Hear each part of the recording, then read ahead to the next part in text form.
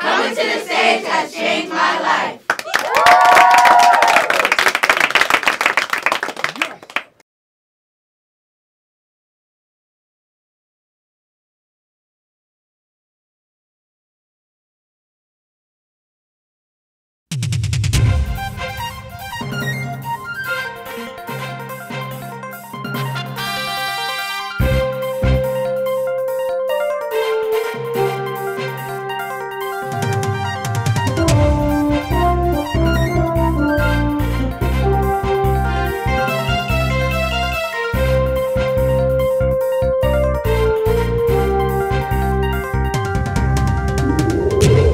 And now, the news.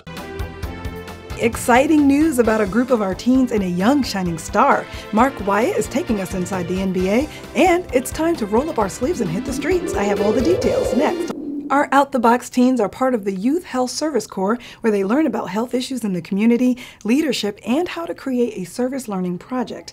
Their end of the year award ceremony and reception will be on June 16th at the University of Bridgeport. We are very proud of our teens for all of their efforts in this program, and they're going to be honored with presidential and special recognition awards and a reception including food and fun activities. You're invited to join the celebration of our teens and other high school students who care enough about their community to be a part of the solution. 200 people, including students, parents, friends, and faculty, will be in attendance. There is a need for volunteers to assist with providing food, beverages, paper products, setup and breakdown, and with serving. Our in house program coordinator, Marcella Lawson, is coordinating the effort. Please see Marcella if you'd like to volunteer. That event date again is Thursday, June 16th. The program starts at 6 p.m. So, which one of these coming to the stage superstars recently won a local talent show? It's this young man, Adarius George.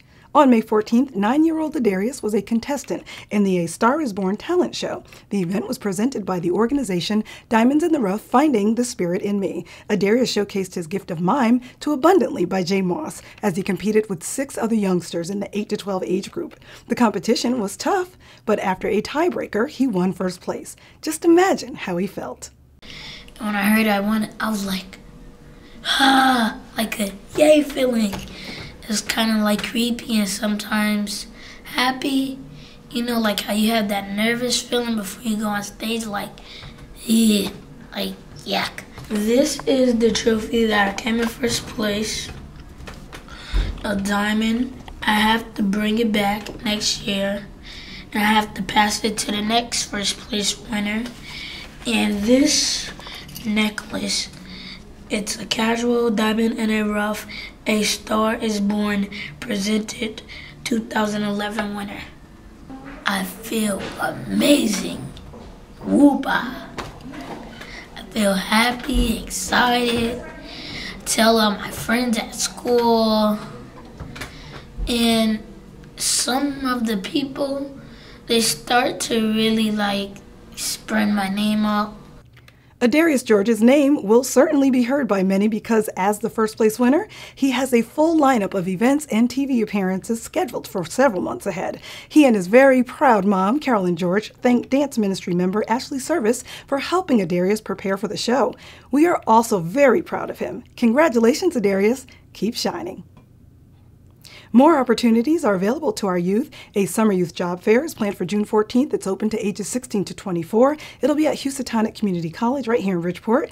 30 or more employers will be on site to discuss work opportunities, so come prepared. That date again is Tuesday, June 14th from 3 to 6 p.m. The event is sponsored by Career Resources Inc., the Workplace Inc., the Connecticut Department of Labor, and the City of Bridgeport. Johns Hopkins University is offering an engineering innovation program for high school students. Students will engage in hands on activities in engineering and science. The program is an all expense paid program for students who can establish financial need. It'll be held on the University of Baltimore campus July 5th through July 29th from 9 a.m. to 3 p.m. each day. 24 spaces are available. The contact for this program is Professor Cecilia Brown. You can call her at 410 837 5004 or email C right Brown at ubalt.edu for more details about the program and to apply. Save the date, everyone, and get your team ready to claim a block. New Vision is preparing for this year's Community Cleanup Day. It'll be on Saturday, July 23rd. We'll have more details in the coming weeks. The presentation staff is currently looking for dedicated individuals who have an interest in learning about graphics and presentation software like Easy Worship, Keynotes for Mac, Photoshop, Fireworks, Google Docs, and much more. If you have a knack for graphics and a background in technology, please see Marcus Sicknine Robinson or Elisa Edwards in the sound booth before or after service. The Higher Ground Ministry is a Christ centered support group for anyone who is struggling with addiction, has been delivered from addiction, or who has been affected by addictions of loved ones. Support group meetings are held right here at New Vision every Tuesday night from 6 to 7:20 p.m. You're welcome to attend and to spread the word to others who can benefit. If you have any questions, please see Elder Mac Allen. NVIM News is looking forward to featuring New Vision members who are part of the class of 2011. Up until the end of June, you can send an email to nvimnews at yahoo.com letting us know where you graduated from and where you're going next. You can also include any special awards or recognition you received and be sure to provide a photo. That email address again is nvimnews at yahoo.com. If you have any questions, you can see me or send an email to NVIM News. We're used to hearing him talk NFL football, but this time, Mark Wyatt's coming to us with the latest on the NBA Finals. It's all up next on our Sports Spectacular. Stay tuned for sports.